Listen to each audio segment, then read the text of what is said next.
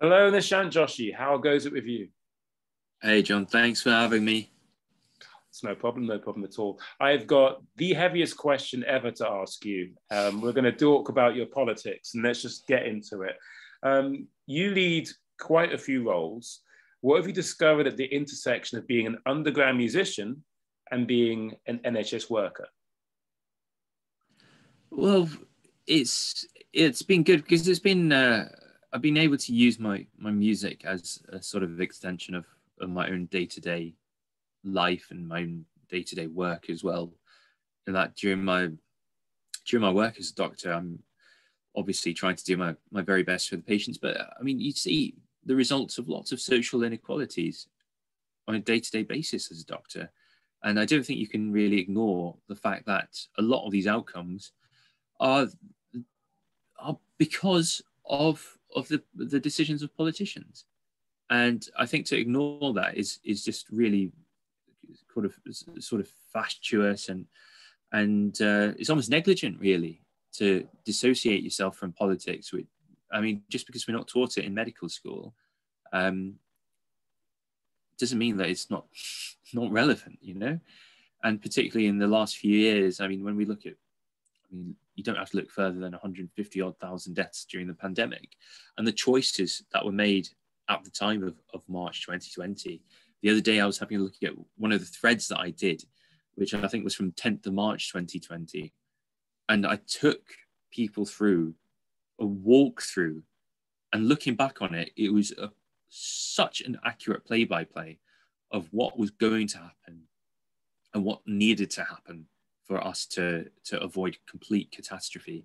At a time when people were were still going to gigs and everything and people were were were carrying on as normal and Boris Johnson was saying I shook hands with everybody in the hospital. I mean I wrote everything down in about a 30 point thread saying this is what we need to do right now. And so I was a frontline doctor in A&E back then and it just really sickens me to know that even though I, w- I was a canary in the coal mine and saying, guys, I mean, all my friends around me knew. They listened to me. They stopped going to pubs. They stopped going to gigs around then. They listened to me. My mum and my dad, I made sure they stayed at home and didn't go out for anything. And uh, I made sure my, family were, were wearing masks around that time as well. So it was just stunning to know that there's just an incredible amount of gaslighting going on right now and revision of history, um, a failure to apologize as well. Uh, people talk about lessons learned, politicians talking about lessons learned. Uh, really, it's just there's no humility, there's no acknowledgement. And I, I think it's so sad that all of these 150,000 people have just become statistics as well. Um, I recognize and I've experienced the grief that families have experienced as well. Um, it's just absolutely beyond anything. I mean, I'm thinking about the patients who died by themselves in hospital without their family members being able to come and visit them because the family members themselves were struck down with coronavirus. Um, those patients died alone, and their families will have to live with that for the rest of their lives.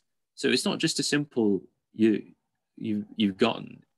It's a, it's it's a series of tragedies and I don't think anybody's really grappled with that, saying that the the wave of grief which has enveloped a huge amount of our country over the past 18 months is just it's just beyond extraordinary. I think it's going to lead to a to to a, to a lot of distress in, uh, for for a lot of people for a very very long time, sadly. Sure. I have so many questions for you, and I want to ask a few of them now rather than waiting to the written interview to come out. But there is this um, opportunity that you have to see things from, as I said, an NHS worker, a doctor, and also someone who's in the band. We are approaching winter, um, if not at the very edge of it. What are your thoughts regarding um, this period of time and what it means for COVID from the perspective of both of your different, you know, uh, experiences or livelihoods? I didn't catch all of that. You said what it what it means for for you in terms of your perspective, being from two different uh, livelihoods, that intersection. I think you're in a very unique place to comment on what should or shouldn't be done regarding this time? I think what needs to be done is that we find a time machine and we go back in time about 10 or 15 years and we train up a lot more doctors and a lot more nurses. And sadly, I, I think reality is that there are just too many patients who are too unwell um, and require a lot of time from uh, doctors and nurses. And the volume of those patients who require the most time has increased dramatically over the past few years. Um, it's just there is too much demand and not enough supply. Uh, there's literally not enough space in hospital for, for in, uh, on a lot of occasions. Um, you see lots of hospitals going on what they call black alert. Some hospitals diverting away patients from A and E, saying that ambulances can't even go there because there's not enough space, even if they make it there. Seeing queues of of, of 10, 15 ambulances at a time outside A and E, waiting for a space while their patients they picked up having to wait in an ambulance outside A and E. Now, whether you call us a, a, first world country or more economically developed country or whatever, um, it's not acceptable. It's really not acceptable. Um, I've I've been to to lots of different countries to experience the taste of hospital life and medical life there, and uh, I never thought I would experience this in this country um, in in my lifetime. Certainly, uh, it's it's really quite upsetting because everything could have been avoided. Everything could be avoided, and we could still have a plan saying, "Okay, you know what? Next few years are going to be terrible, but in five years' time, it's going to be recoverable. We might get back to a vague sense of normality where, if you need hospital help, then you will be seen within four hours in A and E, and not a case of now 75% of people are, are, meeting that four-hour target, which is the worst it's been in, in years and years. I think it might be the worst it's ever been. Um, so it's it's just un, unsustainable, absolutely unsustainable. Sure, um, I can't help but feel that um, what I'm concerned with, not coming just from a certain uh, malaise or sense of anxiety returning to gigs, but just a reality. Um, is there anything that gig goers can do or promoters can do to make what could be an issue less of an issue? I do believe the bulk of the majority of, of the situations should be adjusted by the government. Um, but now that we're in the position of going back to gigs, would there be anything that you could actually say could be done differently or better? Well, I think the main thing that we discovered over the past year. And again, this is something we warned the government about a very long time ago and completely, completely ignored until just recently, which is really one of the most outrageous bits of the, the pandemic. I wrote an article about a year ago for Byline Times. If, if you search on Byline Times uh, and, and my name, um, then come, come up with an article about the importance of ventilation during the pandemic. And I wrote in there that we're really missing a trick with ventilation now that we by that by that stage, I mean, to start off with, March 2020, everybody thought that you just need to wash your hands and keep washing your hands, and that you'll be okay. Really, within it was within weeks, it became very very obvious, saying actually, you you're not getting this from from poor hand hygiene. Yeah, this thing isn't traveling on on planes and ships because to different countries at, at, a ridiculous rate. It didn't get didn't get from China to America because people aboard a plane didn't wash their hands. It was because they were sharing the same air. And that concept took months and months and months. Well, sadly, it's around 18 months now. Yeah. For the government to actually recognize because they don't want to accept responsibility for those initial mistakes that they made. And that's what I've been recommending to gig promoters. A lot of people have come to me for, for advice over the past few months, which I, I'm, I'm, I was very humbled by. Um, and my advice has been to try and focus on ventilation. Now, obviously, you've got the issue of noise pollution, for example, so you can't just open windows in, in a gig venue because it, it it's it's not fair on, on anybody nearby. Um, so the, the recommendation that I've been making is to, to try and invest.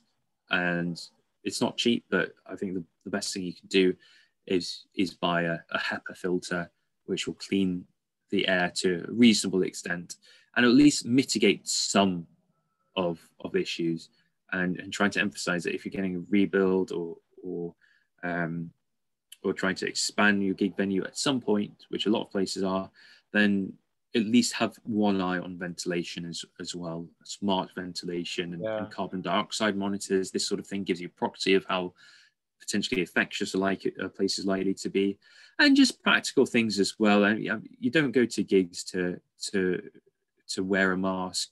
To to be fair, I, I don't think it's unreasonable to expect gig goers to to wear a mask at all times. I, I, I think it it's it's I mean I mean I'm a doctor, but also I can say it's just not much fun in a sweaty environment. It's not very much fun, um, and it's it's quite uncomfortable if you're in a sweaty place as well. So I, I think um, just from a practical point of view, wear a mask if and when you can. For example, if you go into the to the bathrooms, which we know aren't going to be ventilated, really, um, that's a sort of small, sensible message. Um, uh, uh, measure that you can take. And obviously, wearing your mask on public transport on the way to, to getting there. I think wearing a mask is just a good idea um, for the foreseeable future, anyway, when you're in enclosed places on public transport or, or, or with people outside your, your family group. I just think it's a good idea um, because, I mean, if it saves you a bout of the cold or the flu, let alone COVID, I mean, that's pretty, that's pretty okay. Um, and um, obviously encourage everybody to get vaccinated. So I, I think that's once you've done that, I think given the government's policy and abdication of responsibility, I think you, you're you're doing all you can really. Yeah, yeah. Thank you for answering these questions. It would be ideologically remiss if we didn't follow um, the the tracts that are basically laid out before us, um, given your um, your actual position. Um, that ventilator, or, or not ventilator, um, filter that you talked about? Yeah, the HEPA filter. HEPA yeah. filter. Um, how much does that cost? Do you know? You can you you can buy it from killtheicon.com. There's the business opportunity there. Like we've got the branding in place. Like you know.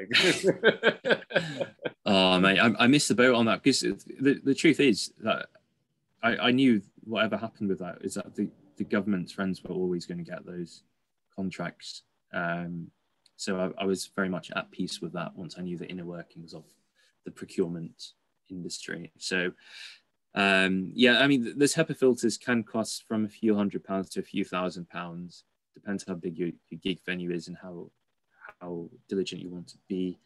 But uh, hopefully, at some point, maybe sort of a culture fund or something like that might um, and end up subsidizing those in venues. That's what yeah. I would hope that yeah. would seem something really sensible and saying, for example, the government will cover some of the, the, the cost. And yeah, you um, took the question right out of my mind there. I mean, I'm hoping that's what's going to happen. Um, my inner cynicism is saying no, that you're in I the mean, UK and they've never really truly understood the benefit of like an act until it gets to a certain level yeah. in the O2 arena. So why would they want to help a grassroots venue? So, you know, I mean, I, to be fair, I mean, we, we have had sort of subsidies which have, have encouraged buying solar panels at, at cut price costs and, and that sort of thing. Um, and that was really, really successful. Um, so it, the precedent is certainly there. Um, and I think that especially this winter, it, it, it might be a win-win sort of thing, especially if you can, if the venues can advertise that they've, they've got these measures in place, I think it would certainly be um, would encourage more people to go out in a place where they felt was was was safe. Particularly now that, for example, the idea of vaccine passport seems to be being scrapped, um, so that you don't have that sort of mandatory um, mandatory law coming in. You know, so I, I think now that they scrapped that idea, um, whether it was right or wrong, I think this is this is the only only other sort of sane option, really. Sure, sure. I, I wasn't sure about starting off with this particular um, insight that I now have, but it seems to be part of that first question. Um, in 2020, many strange things happened uh, in your life, which involved Channel 4, Vogue magazine, and a lot of coverage. For those who don't know about any of this, can you give us a brief, if possible, approximation as to what happened to you? Well, I, I was one of the first doctors who who actually raised the raised concerns about our um, our trajectory in the pandemic, and I, I was working in A and E, seeing coronavirus patients, and at the at the end of January 2020, it seemed a little bit of a joke. Really, it just seemed like oh, there's a bit of a virus from China. Oh, we're going. To, we were having a, everybody was having a giggle about it. There's not one one doctor who just underplayed the risk. Um, in at the end of January in, in the UK when patients were coming off the plane, it was almost seen as an exotic sort of non-entity, which were, it was almost seen as the the the equivalent of Ebola, which we we thought it just it, it, you do get suspected Ebola patients coming into the UK, but they're they're generally vast majority of them will, will just be false false uh, false alarms. Sure. Um, So we, we thought this this thing was a, a, massive false alarm. But as February progressed and we started to see more patients and then started to get some positive tests back, then our own colleagues started to become unwell. It it was really obvious to us what was going wrong, and I I was one of the first doctors to actually go public. I did a, an interview in the Guardian um, in early March 2020, which I got in a lot of trouble for, um, but which directly affected government policy, and it accelerated the speed and urgency for which things were addressed in Parliament. Um, and lockdown happened March 23rd, 2020. I think without some of those initial catalysts and an intervention, I'm not claiming credit for for for for that. But it's certainly part of a, uh, a, a group of people who are raising concerns. If we hadn't done that and we delayed lockdown even a few more days, shudder to think what would have happened. And then uh, I yes, lots of other things happened. My wife was pregnant at the time. She was a, she's a doctor, and she was dismayed at the situation about PPE um, and how pe- the government was treating pregnant doctors, like such as herself. There was no protocol saying, well, if if you're a pregnant doctor, I mean, should you be working in this environment at all? Um, and there was just a lot of really poor management, really poor abdication of decision making just saying, oh, this is the policy, so we have to follow it, without using common sense um, and without listening to doctors on the front line who are, we, we were the ones who were putting ourselves at risks. We were the sitting ducks, and over a thousand of my colleagues died um, as a result of the intransigence of our decision makers. So my, my wife protested in, in early April 2020 in front of Downing Street, and then she became the. While I was a, I had I enjoyed perhaps faux celebrity for a few weeks. And while I, I, I, was probably the equivalent of, of being on the cover of Nuts magazine, and uh, she got on the cover of Vogue magazine, actually. So, yeah, and then we raised a, a legal case against the government for um, for uh, our case against PPE and, and anti-racism within the NHS as well, and all of those things have culminated into both myself and my wife becoming sort of avid campaigners for justice in all forms. Indeed, indeed. So comprehensive. We'll have a slight return to some of that later on. For now, um, you know, we'll go there now. Have there been any developments in your ongoing protest against the irregular goings on in your job as a doctor that perhaps could be voiced here? Feel free to go into as much detail as the subject deserves. I mean, our legal case against the government closed uh, a while ago, and I think the focus has gone from gone away from my job and from from my wife's job, and actually trying to focus those who still need our help. Um, so we're still trying to get justice for a few doctors who've been wronged over the past few years as well. Um, so we're working on, on their campaigns and, and trying to give them some support as, as well, um, and trying to help the families of, of of doctors and nurses who've passed away as well. Um, it's it's just a really tragic time to to see that our colleagues who dedicated their, their lives to the NHS have, have passed away because of bad decisions, sure. to which nobody's owning up for. What kind of support are you trying to afford them?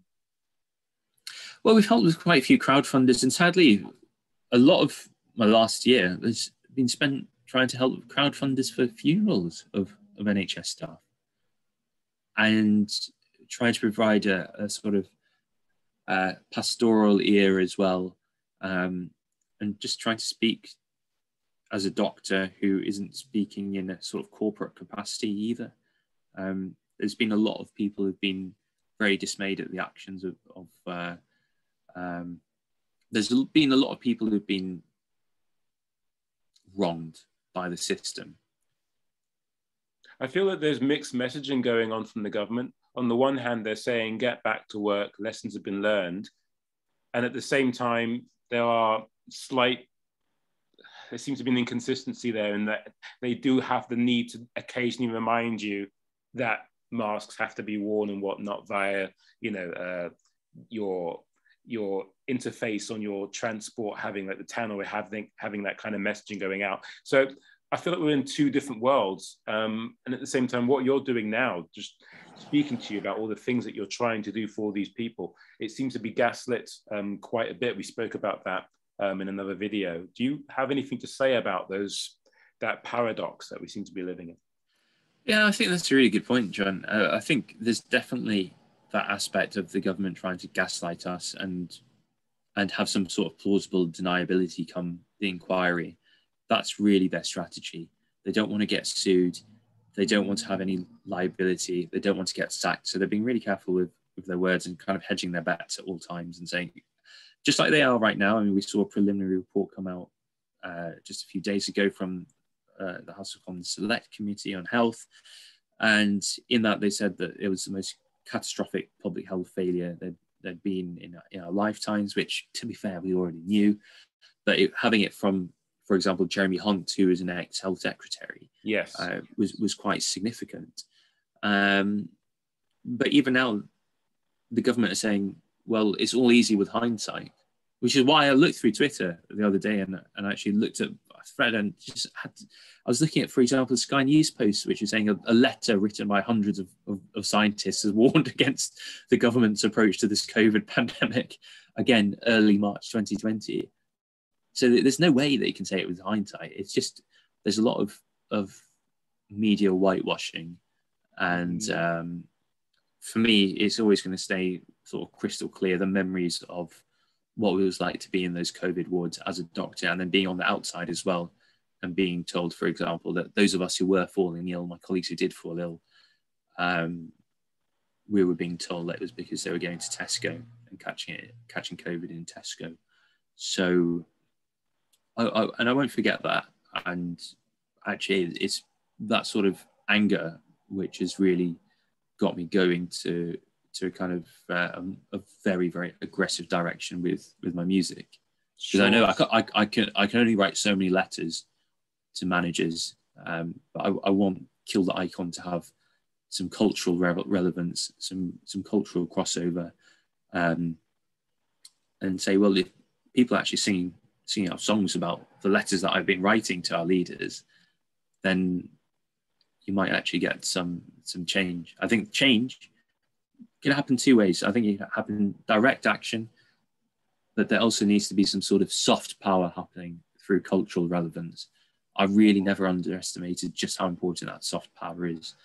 Um, I think if you can get people singing about things, that's when you know that that uh, that people really care about something. Um, and I think people care about it. They might might just not know about the nitty gritty of things.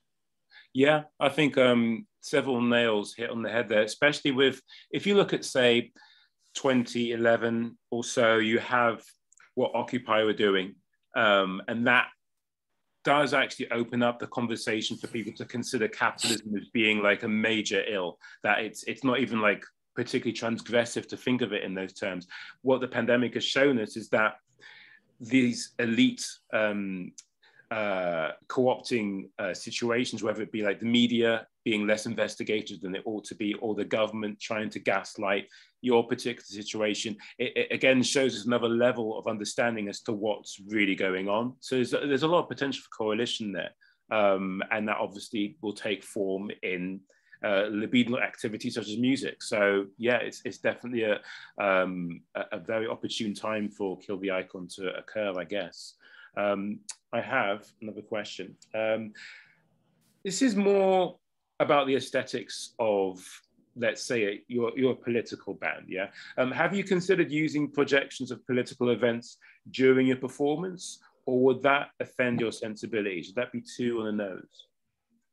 Uh, I think we're definitely keen on having some sort of projections. It is something that I try to look into. I think logistically, it is pretty tough to arrange. So if anybody knows an easy way that we can arrange that sort of thing, then I would be very keen on on, exploring that idea for sure, for sure.